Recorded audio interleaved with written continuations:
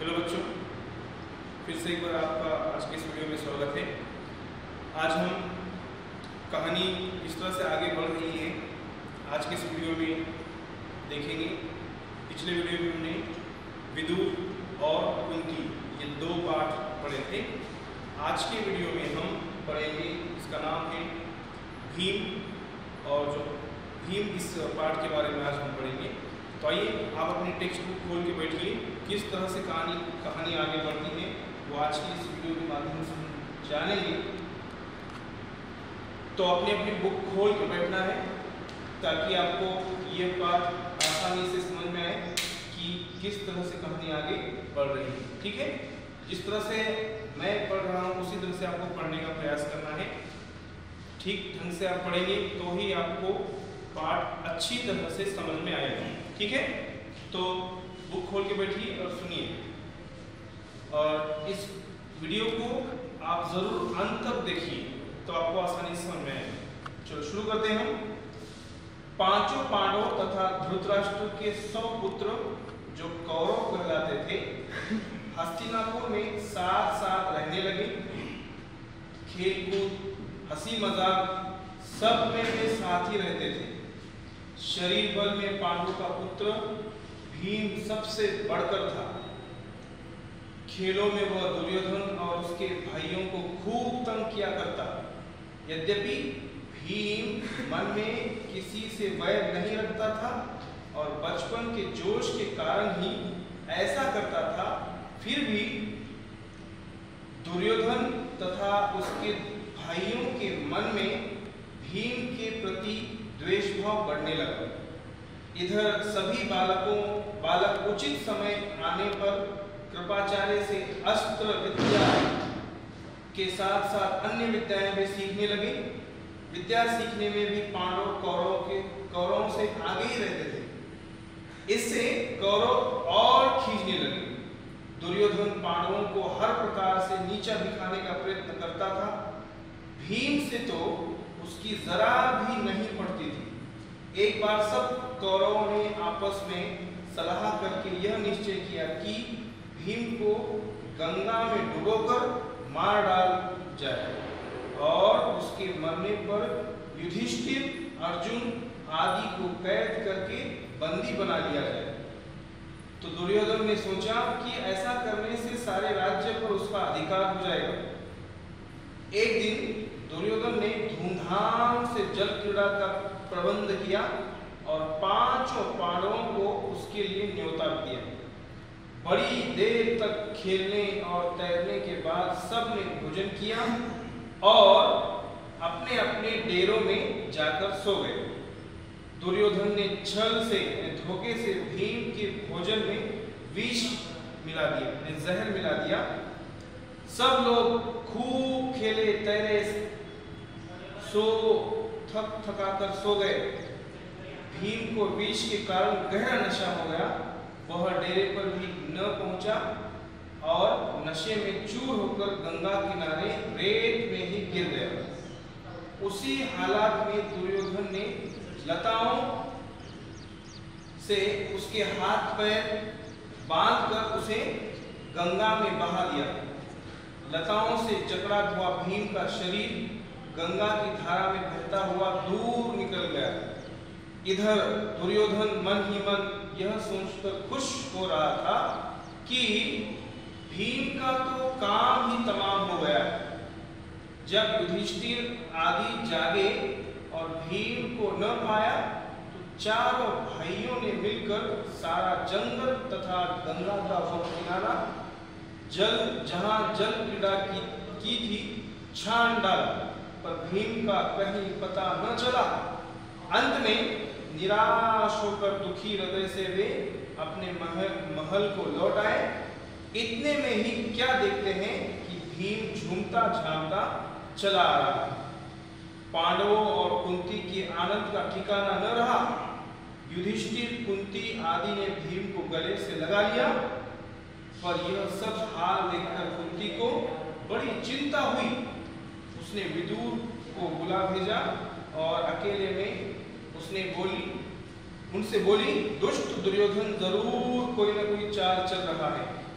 राज्य के लोग, राज्य के लोभ में लालच में वह भीम को मार डालना चाहता है। मुझे इसकी चिंता हो रही है।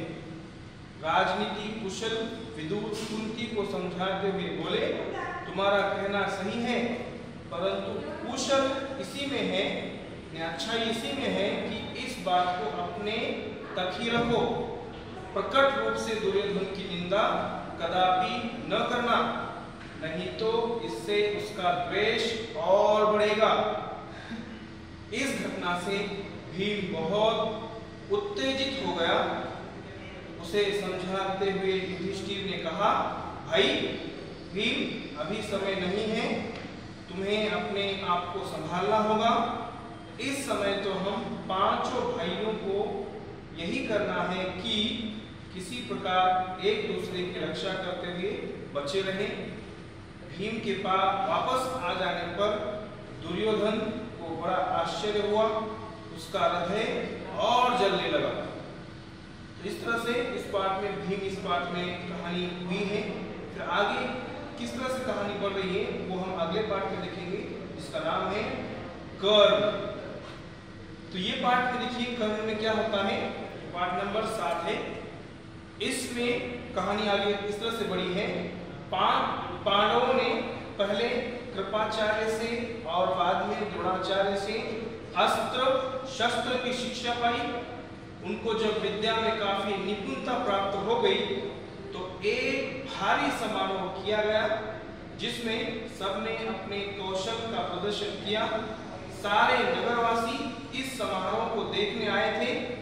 तरह तरह के खेल हुए और हर एक राजकुमार यही चाहता था कि वही सबसे बढ़कर निकले। आपस में प्रतिस्पर्धा बड़े ज़ोर की थी, परंतु तीर चलाने में पांडु पुत्र अर्जुन का कोई सानी न था। अर्जुन ने धनुष विद्या में कमाल का खेल दिखाया। उसकी अद्भुत चतुरता को देखकर सभी दर्शक और राजवंश के सभी उपस्थित लोग दंग रह यह देखकर दुर्योधन का मन ईर्ष्या से जलने लगा। जलन होने लगी उसे।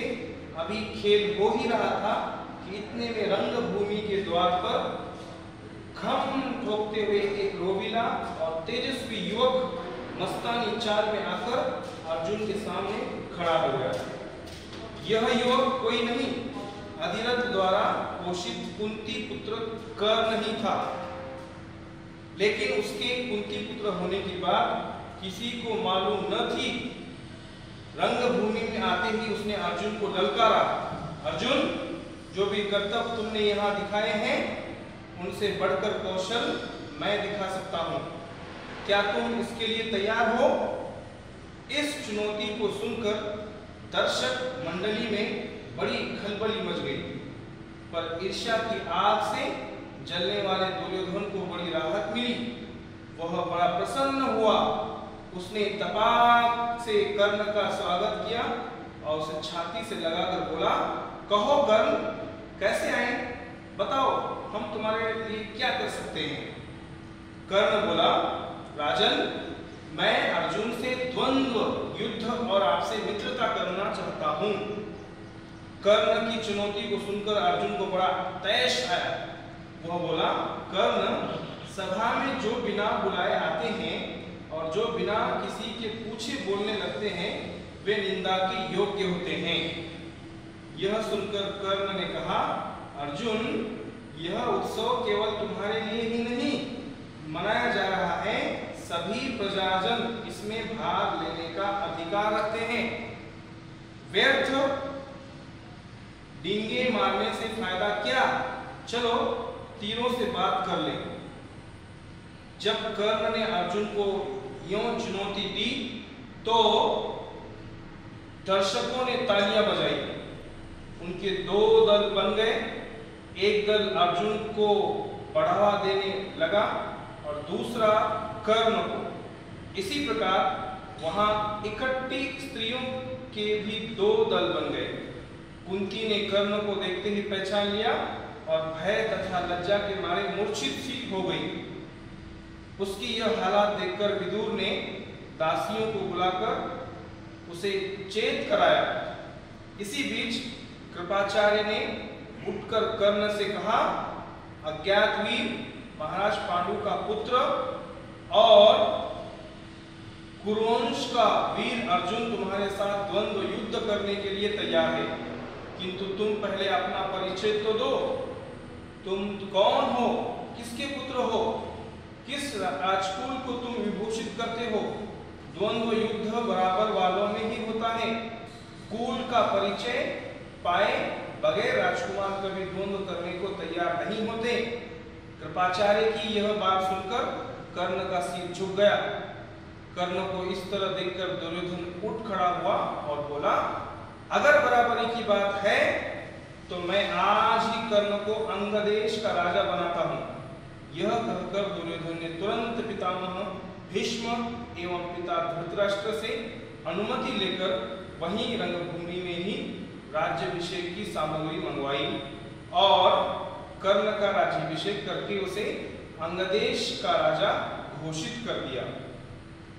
इतने में बूढ़ा साथी अधिरथ, जिसने कर्ण को पाला था, लाठी टेकता हुआ और भय के मारे कांपता हुआ सभा में प्रविष्ट हुआ। कर्ण, जो अभी अभी अंगदेश का नरेश बना दिया गया था, उसको देखते ही धनुष नीचे रखकर उठ खड़ा हुआ और पिता मानकर बड़े आदर के साथ उसके आगे सिर नवाया। बूढ़े ने फिर बेटा कहकर उसे गले लगा लिया। यह देखकर भीम खूब कह कहा मारकर हंस पड़ा और बोला साथी के बेटे, धनुष छोड़कर हाथ में चाबुक लो। चाबुक वही तुम्हें शोभा देगा। तुम भला कब से अर्जुन के साथ द्वंद्व युद्ध करने के योग्य हो गए? यह सब देखकर सभा में खलबली मच गई। इस समय सूरज भी डूब रहा था। इसी कारण सभा विसर्जित हो गई। मशालों और दीपकों की रोशनी में दर्शक वृंद रोशनी में दर्शक वृंद अपनी अपनी पसंद के अनुसार अर्जुन, कर्ण और दुर्योधन की जय जयकार बोलते जाते थे। इस घटना के बाद, बहुत समय बाद, एक बार इंद्र बूढ़े ब्राह्मण के वेश में अंग नरेश कर्ण के पास आए और उसके जन्मजात कवच और कुंडलों की भिक्षा मांगी। इंद्र को डर था भावी युद्ध में कर्ण की शक्ति से अर्जुन पर विपत्ति आ सकती है। इस कारण कर्ण की ताकत कम करने की इच्छा से ही उन्होंने उससे यह भिक्षा मांगी थी। कर्ण को सूर्य देव ने पहले ही सचेत कर दिया था कि उसे धोखा देने के लिए इंद्र ऐसी चाल चलने वाले हैं, परंतु कर्ण इतना दानी था कि किसी के कुछ मांगने पर वह मना कर ही नहीं सकता था। इस कारण यह जानते हुए भी कि भिखारी के वेश में इंद्र धोखा कर रहे हैं, कर्ण ने अपने जन्मजात कवच और कुंडल निकालकर भिक्षा में दे दिए। इस अद्भुत दानवीरता को देखकर इंद्र चकित रह गए। कर्ण की प्रशंसा करते हुए बोले, कर्ण, तुमसे मैं बहुत प्रसन्न हूँ। तुम जो भी वरदान चाहो, मांगो। कर्ण ने देवराज से कहा आप प्रसन्न हैं तो शत्रुओं का संहार करने वाला अपना शक्ति नामक शस्त्र मुझे प्रदान करें। बड़ी प्रसन्नता के साथ अपना वह शस्त्र कर्ण को देते हुए देवराज ने कहा, युद्ध में तुम जिस किसी को लक्ष्य करके इसका प्रयोग करोगे, वह अवश्य मारा जाएगा।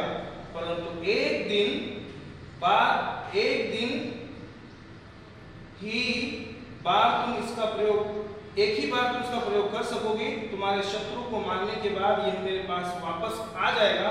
इतना कहकर इंद्र चले गए। एक बार कर्ण को परशुराम जी से ब्रह्मास्त्र सीखने की इच्छा हुई, इसलिए वो ब्राह्मण के वेश में परशुराम जी के पास गया और प्रार्थना की कि उसे शिष्य स्वीकार करने की कृपा करें। परशुराम जी ने उसे ब्राह्मण समझकर शिष्य बना लिया। इस प्रकार छल से कर्ण ने ब्रह्मास्त्र सब चलाना सीख लिया। एक दिन परशुराम कर्ण की जांग पर सिर रखकर सो रहे थे। इतने में काला भौना कर्ण की झांग के नीचे घुस गया और काटने लगा। कीड़े के काटने से कर्ण को बहुत पीड़ा हुई और जान से लहू की धारा बहने लगी, पर कर्ण ने इस भय से कि कई गुरुदेव की नींद न खुल जाए जान को जरा भी हिलाया डुलाया नहीं जब खून से परशुराम की देह भीगने लगी तो उसकी नींद खुली। उन्होंने देखा कि कर्ण की जान से खून बह रहा है। यह देखकर परशुराम बोले, बेटा, सच बताओ, तुम कौन हो?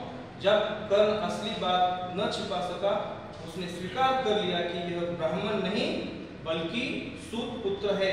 यह जानकर परशुराम को बड़ा क्रोध आया। अतः उन्होंने उसी घड़ी कर्ण को श्राप देते हुए कहा चूँकि तुमने अपने गुरु को ही धोखा दिया है, इसलिए जो विद्या तुमने मुझसे सीखी है, वह अंत समय में तुम्हारे किसी काम न आएगी। ऐन वक्त पर तुम उससे भूल जाओगे और रण क्षेत्र में तुम्हारे रंग रथ का पहिया पृथ्वी से धस जाएगा। पृथ्वी में धस जाएगा। परशुराम जी का यह शाप झूठा न हुआ। जीवन भर कर्ण को उसकी सिखाई हुई ब्रह्मस्त्र विद्या याद रही, पर कुरुक्षेत्र में, कुरुक्षेत्र के मैदान में अर्जुन से युद्ध करते समय कर्ण को वह याद न रही। दुर्योधन के घनिष्ठ मित्र कर्ण ने अंत समय तक कौरव का साथ न छोड़ा। कुरुक्षेत्र के युद्ध में भीष्म तथा आचार्य द्रोण के आहत को आहत हो जाने के बाद दुर्योधन ने कर्ण को ही कौरव सेना का सेनापति बनाया था। कर्ण ने दो अद्भुत कुशलता के साथ युद्ध का संचालन किया।